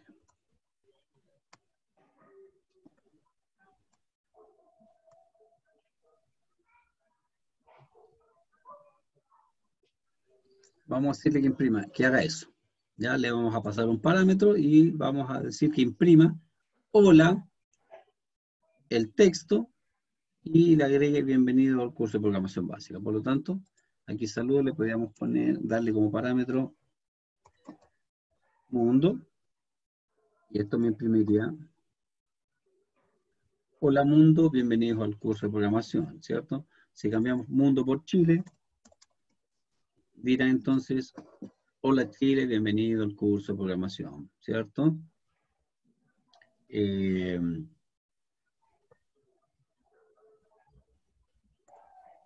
ya, entonces aquí eh, tiene, tiene un argumento, eh, imprime y aquí hace una concatenación entre un texto predeterminado más el texto que viene como argumento. ¿Ya? Pero todavía no devuelve nada. Esto es, el, es el, la función saludo la que se encarga de, de hacer una impresión. ¿Ok? Hagamos, en vez de que imprima, hagamos que devuelva algo. Ya le vamos a decir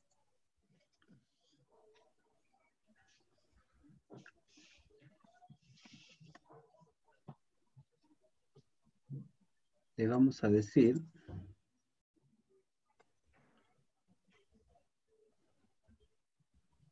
vamos a cortar el, el texto. ¿Ya? En vez de decirle que imprima, le vamos a decir que la función devuelva este texto. ¿Ya? Este, además que este texto es que devuelva esta concatenación. ¿Ya? Que devuelva esto concatenado. ¿Ya? Veamos qué hacen. Listo, ahí está. Profe, pero no, no, no, no está mostrando nada, no imprime nada. No, pues, no imprime nada porque yo no le dije que imprimiera algo, le, le pedí que me devolviera algo. Entonces, acá, en la línea 6, cuando yo llamé a la función, la función se ejecutó. Hizo la, con- la concatenación y me devolvió el texto. Lo que pasa es que me la devolvió, pero yo no hice nada con eso que me devolvió. Entonces, ah, entonces yo podría hacer algo con lo que me devuelve la función, ¿cierto? Sí, puede hacer algo. Como saludo, saludo Chile, ya sé que lo que estoy haciendo es llamar a una función que me da devolver algo, significa que esto ya pasa a ser un objeto. Un objeto que yo puedo utilizar. ¿Ya? Como yo sé que esto me va a devolver, ¿qué? Me va a devolver un, un string. Ah, entonces yo puedo imprimir ese string. ¿Cómo? Print. Saludos. ¿Se entiende? Probémoslo. Entonces, me imprimió hola, coma, Chile, coma, bienvenido al curso de programación. ¿Por qué hizo eso? Porque eso fue lo que yo le dije que hiciera. Le dije que me retornara hola, coma, Chile, coma, bienvenido. Le, estoy devolviendo una lista. Acuérdense que yo aquí simplemente, esto estaba metido dentro de un print.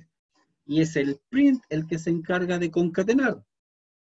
Y aquí yo no concatené, yo se lo seguí pasando por coma. Es decir, le devolví return tres elementos. Una cadena de carácter, el texto, que es el que venía acá, y otra cadena. Ah, entonces, ¿qué pasa si yo concateno esto? En vez de un coma.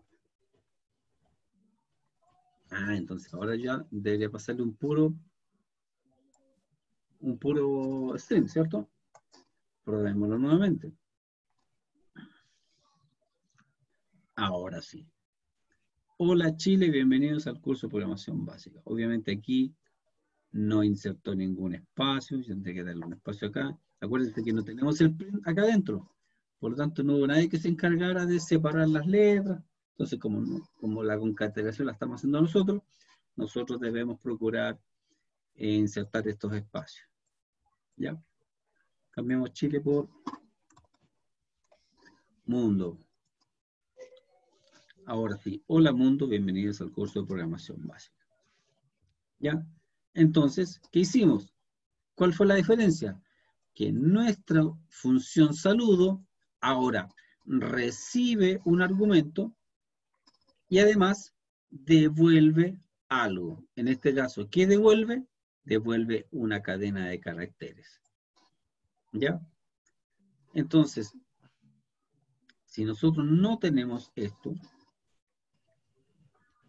esto nunca se ejecuta. Solamente se guarda la función llamada saludo, se guarda en memoria, pero no se ejecuta. ¿Ya? ¿Cómo se ejecuta? Acá.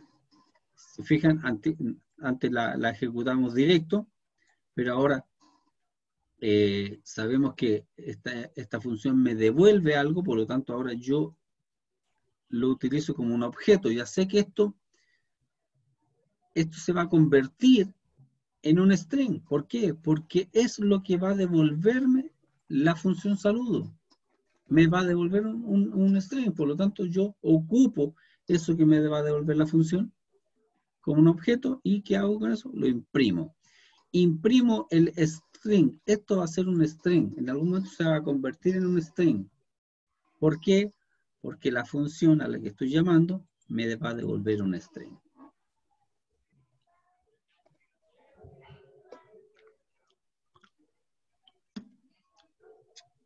¿Se entiende? Sí, profe.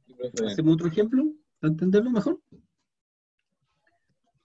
Bueno, ¿Le, le damos otra vuelta? Sí, por favor, profe. Sí. ¿Me escuchan? Sí, sí se escucha. Ya. Vamos a hacer otro ejemplo. Pero ahora lo vamos a hacer, en vez de hacerlo con texto, vamos a hacerlo con números. Hagamos. Vamos a hacerlo en otro. En el ejercicio 6. le voy a este. Vamos a hacerlo con números, ¿ya? Vamos a crear una función llamada cuadrado. que va a recibir un número. ¿Ya? ¿Qué hace la función cuadrado? Va a calcular el cuadrado de un número. Por lo tanto, si yo le, le ingreso un número, él tendrá que multiplicar. Vamos a crear la variable resultado, que va a ser igual a qué? A número. Eh, ¿Se acuerdan cómo, cómo era el elevado? Era por por, ¿no? ¿Se acuerdan? ¿Se acuerdan? ¿Alguien se acuerda cómo era? Que no quiero hacer número por número. Ahí lo puse en, la, en el chat, profe. Eh, ya, déjame está el chat. Está el chat. Chat. Ay, con este símbolo.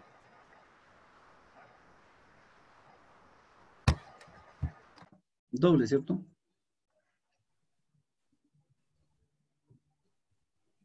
¿Así? No, no funcionó. ¿O con uno solo? No, no me pescó. No funciona así. O, o es doble y a dos. No, Ah, ahí. Ahí está. O uno solo. Ah, ahí está.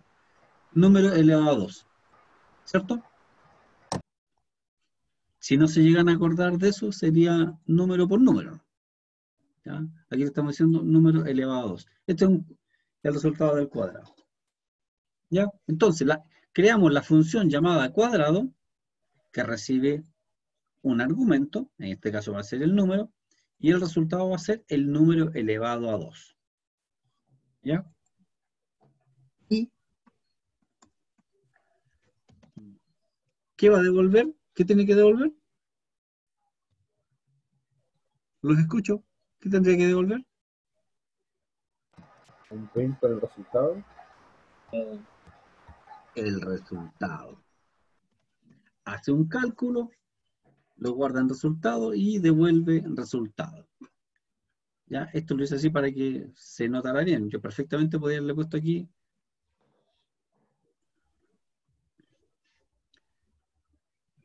devuelva, el devuelva el número de lado 2. ¿Ya? Y es exactamente lo mismo. Aquí hice- un paso de más, solamente para que entiendan qué fue lo que hicimos. ¿Ya? Hacemos el cálculo, lo guardamos en una variable y por último devolvemos ese cálculo. ¿Ya? Entonces, después, como esto es, es una función empaquetada, entonces yo de aquí en adelante puedo, puedo estar trabajando.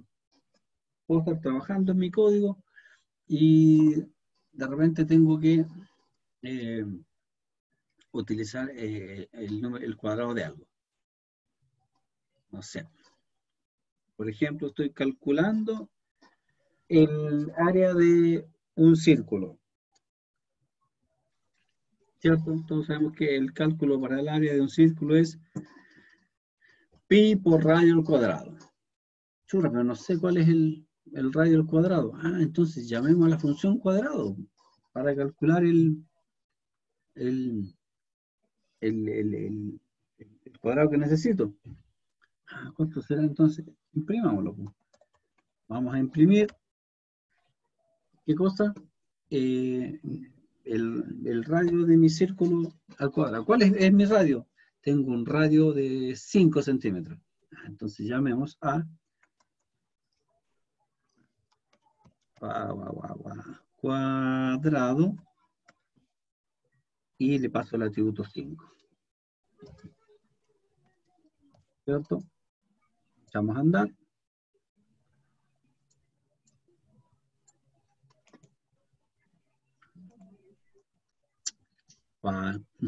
No era nada ese símbolo, o no me funcionó. De su modo. No, ya, vamos a poner número por número. No me funcionó. Ya, echemos a andar nuevamente esto. Ahí sí. Entonces, el cuadrado de 5, ¿cuánto será? 25, perfecto. ¿Cómo hizo eso? Porque nosotros creamos una función llamada cuadrado que recibe un atributo. ¿Qué hace con ese atributo? Lo multiplica por sí mismo, se lo pasa a una variable y luego mi función cuadrado me va a devolver este resultado. Perfecto, y como me lo devolvió, yo lo uso para imprimirlo. Si yo no pongo el print, si yo no pongo el print, esto funciona, pero no me muestra nada porque no tengo en ninguna parte le estoy diciendo que me muestre el resultado. Ya está guardado aquí, esto internamente, es, más, pues esto yo también puedo guardarlo acá afuera, en, eh, en otra variable llamada eh, en otra variable llamada quad va a ser igual a cuadrado. Lo mismo. Eché. Funcionó, pero no lo veo. Ah, porque ¿dónde, ¿dónde quedó el resultado que devolvió esto? Es un return. ¿Dónde quedó? Quedó guardado en la variable quad. ¿Cómo eso es cierto? Imprimámoslo. pues. Print quad. Para que veamos si realmente el resultado de ese llamado quedó guardado aquí. Veámoslo. Perfecto, ahí está. Agreguémosle más cosas para que se note que salió por acá. El resultado es...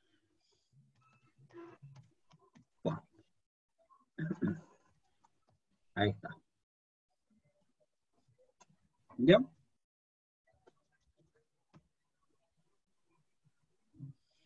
Yo creo que de todo lo que aprendemos hoy día, lo que cuesta un poquito asimilar y entender es esto, que el hecho de yo llamar a la función, ¿ya? Porque aquí le estoy diciendo que quad, la variable quad, es igual a, a, a algo. Pero ¿qué es ese algo? Ese algo va a depender. ¿De qué va a depender? De qué sea lo que devuelve esta función. Si esta función devuelve un string, entonces esta variable se va a convertir en un string. Si mi función devuelve un entero, entonces esto será un entero y mi variable será un entero. Si mi función me devuelve un, booleano, si mi función me devuelve un booleano, entonces esta variable se va a convertir en un booleano. ¿Por qué? Porque al yo llamar a la función, como me, está, me va a devolver un booleano, entonces esto va a ser un booleano. ¿Ok? El resultado del llamado a la función va a depender de lo que devuelva. En este caso devuelve algo. Si no devolviera nada, entonces, por ejemplo, aquí quiero decir que no devuelva nada. ¿Ya? Veamos qué pasa. El resultado es none. Es nada. ¿Por qué? Porque cuadrado, si bien funciona, ahí está la función, la llamó, la ejecutó, multiplicó número por número, lo guardó en una variable local, esta variable local solamente eh, funciona aquí dentro de la, de la función, ¿ya? Pero no devolvió nada, por lo tanto, cuadrado de 5 no es nada. No es nada. ¿Por qué? Porque la función no devuelve nada. ¿Se entiende, muchachos? Y muchachas, no sé si hay muchachas hoy día.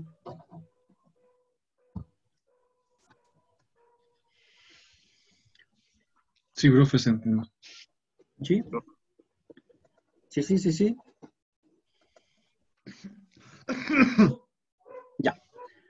Con los pocos minutos que nos quedan, vamos a ver si entendieron. Intentemos generar, entre todos hagamos una función. ya, vamos a crear una, una función nueva. Antes que nada, les voy a, a compartir este código. Se lo voy a mandar por el chat, ¿ya?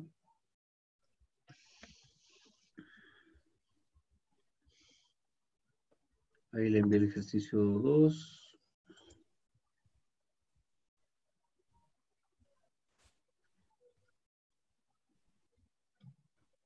Eh,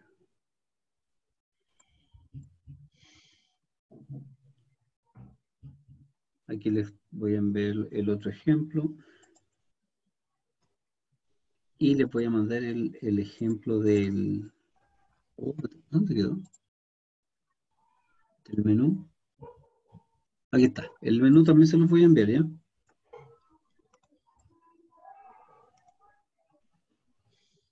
Cópielo porque les va a servir.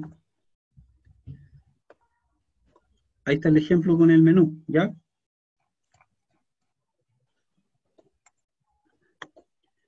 Ya. Eh, intentemos hacer entre todos una función. ¿Cómo haríamos una función?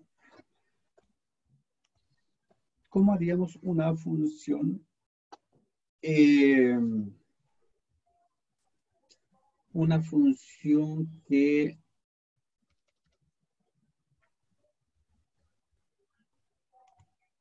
supongamos que queremos tirar una rifa. Una rifa. Así que vamos a crear una función que me permita eh, e ir extrayendo números aleatorios. ¿Ya? Cosa que yo eche a andar eh, la función o cada vez que yo quiera sacar un número. ¿Cómo lo haríamos? Hagámoslo entre todos.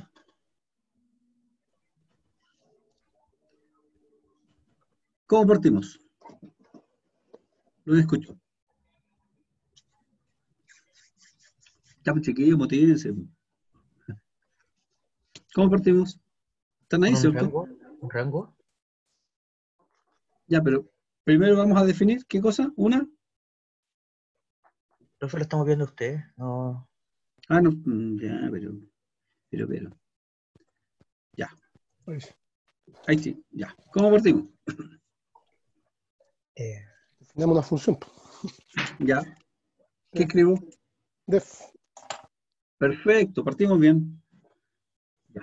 Luego, Mm, El nombre de la variable. el nombre de la Función. función. Ya. Rifa. Inventemos un nombre para nuestra función. Pongámosle rifa, ¿no? Rifa, sí. Ya, rifa. Vaya. Rifa. Eh, ¿La hacemos con atributo o sin, o sea, con argumento o sin argumento? Con todo nomás para que cueste. Ya, pidámosle un argumento. Eh, Bueno, ahí vemos si lo usamos. Ya, pongamos argumento. Ya, ¿qué viene después? Dos puntos. Dos puntos, perfecto, listo. Ahí partimos súper bien. Estamos definiendo entonces la función llamada rifa que recibe un argumento llamado ARG. Ya. ¿Qué estamos solicitando? Crear entonces una, una función que me sirva para la- tirar una rifa. ¿Cierto? Tirar una rifa. Entonces, eh, resulta que esta rifa tiene ¿cu- ¿cuántos números? Sí. ¿Cuántos? 100 15. números. Ya, 10 números. Entonces, ¿qué, qué tal si, si mi argumento es la cantidad de números de la rifa? ¿Les parece? Sí. Perfecto. Entonces, argumento que este va a ser eh, cantidad números. ¿Ya? Este- este va a ser la cantidad de números de la rifa. Listo. Nosotros, nosotros lo que necesitamos entonces es que esta, esta función rifa, cuando yo la ejecute, me, me, me tire un número eh, al azar, eh, entre, obviamente entre los números de la rifa. ¿Qué son? Por ejemplo, si son 10, esto será 10. Ya. ¿Qué tengo que hacer entonces? eh, Necesitamos un ¿un número aleatorio. Ah, número tres. ¿Te acuerdas cómo, cómo, cómo generamos un número aleatorio, no? Primero tenemos que importar. Random. Ah, Bien. random. ya. El random siempre se pone, este se pone afuera, ¿ya? Porque ese, las importaciones, cualquier importación que ustedes hagan, siempre las ponen al principio de, la, de su programación y así la pueden, pueden usar dentro de todo su programa, ¿ya? Así que por eso lo dejé acá afuera del, afuera de la, de la, de la función. Ya. Entonces, acá adentro ya importé el random. ¿Cómo creo una, un número aleatorio? Creemos la, la, la- variable aleatorio. O no, démosle al tiro. Ganador. Número ganador. El número ganador va a ser igual a. Un, un- número aleatorio. ¿De dónde lo sacamos? Random. Del random. Punto. Random. ¿Cierto? Y ¿se acuerdan que el, el random pedía dos atributos? Porque me- lo que me estoy, me estoy, quiero hacer acá es que me dé un número aleatorio, pero ¿entre qué? Pues entre, entre dos números. ¿Ya? Yo tengo 100 números, por lo tanto, entre el 0 y el 100. Entre el 0, no, ni siquiera entre el 0, entre el 1, porque no va, no va a tener el número 0 en la, Sí. en, el- en la rifa, ¿cierto? Entre el 1 y, ¿qué es el número? Cantidad, número. Perfecto. Listo, y con eso, con eso ya tengo el número ganador. Y ahora, ¿cómo lo para afuera? Tengo dos, tengo dos opciones. Tengo la opción que este- esta función devuelva el número. Entonces, ¿cómo le decimos que devuelva el número ganador? Con un Con un, con un return, muy bien. Número ganador. Listo, entonces la función devolverá el número ganador que se calcula con un random entre 1 y el atributo ingresado por el usuario. Listo, ahí está hecho. ¿Qué nos falta ahora? ¿Qué nos falta? Llamar a la función. ¿Cómo llamamos a la función entonces? Print, Le damos el nombre, el nombre de la función y le pasamos un atributo. Dijimos que la- el, el argumento que tengo que pasarle es la cantidad de números de la rifa. Ya la- eran 100 números. Perfecto. Entonces esto eh, me generará un número aleatorio entre el 1 y el 100. ¿Ya? Pero no lo voy a ver. No lo voy a ver porque no lo estoy imprimiendo. Ahí se ejecuta, pero no veo nada. ¿Qué tengo que hacer? Tengo que imprimirlo. ¿Cómo lo imprimimos?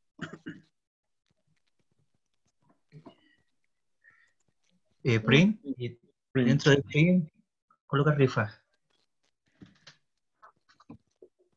Print. Rifa, ¿cierto? Imprimo rifa 100. ¿Por qué? Porque rifa 100 se va a convertir en un número ganador. ¿Y el número ganador qué es? Va a ser un entero. ¿Ya? Porque esto genera un número entero. Y se lo vamos a. Probémoslo. Sorteo de la gran rifa. Lo echamos a andar. Y nos entrega el número ganador es el 30. Al agua. Otro más. Al agua. No, porque ahí hacemos otro que nos diga al agua. o, les- o- o perfectamente, mira, eh, si ahí, esto, esto nace así. Esto mismo ustedes después lo pueden empezar a, mejorar. ¿Cómo mejoraría esto? Ya, que, que nos dé tres números, dos al agua y uno y uno ganador. Entonces, no sé, pues, a lo mejor en vez de que, que nos devuelva algo, que lo imprima al tiro acá, pues, para no llamarlo tres veces, para no llamar rifa 100, rifa 100. Mejor lo llamamos aquí que nos imprima al tiro. Eh,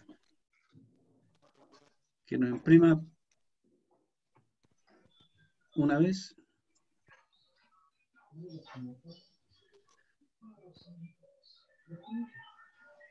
Pero la primera vez va a decir, la primera vez va a decir Sí. al agua el número y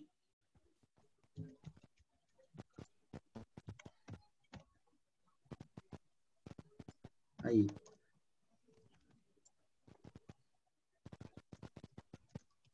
al agua el número tanto genera otro al agua el segundo número y después eh, Dice a Pepa Pico apoyándome. Gracias. el número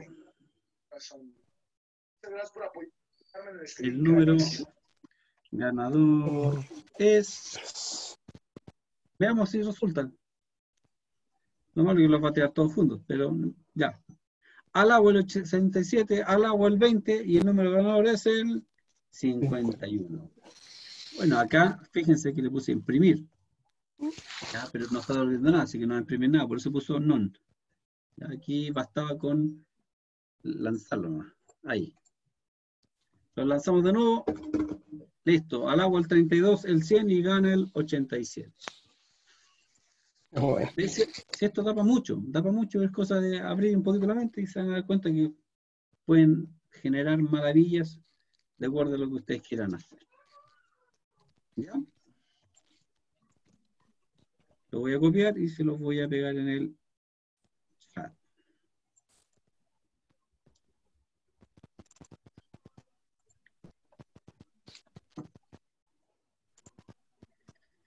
Y eso sería, eso sería, muchachos.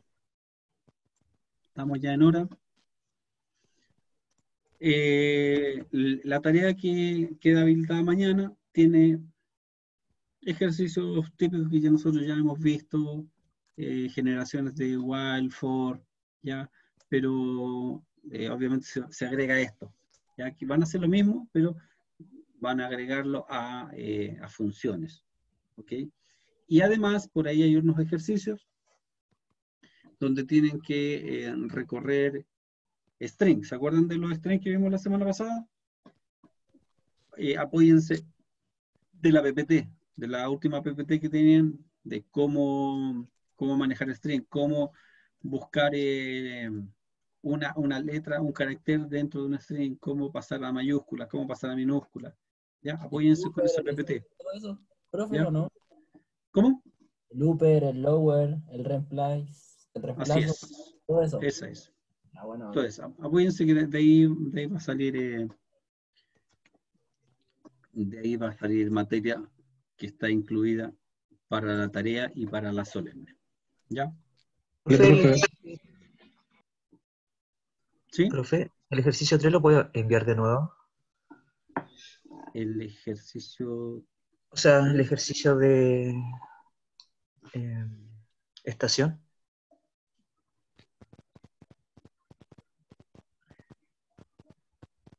Este fecha, día, porque no sale con error. Ah, este, el del menú. Sí.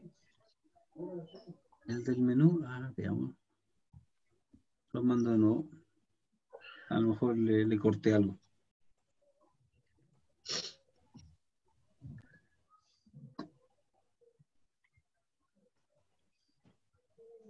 Ahí lo mandé. Pruébenlo, por favor. Pruébenlo. Así es. Porfa, porfa.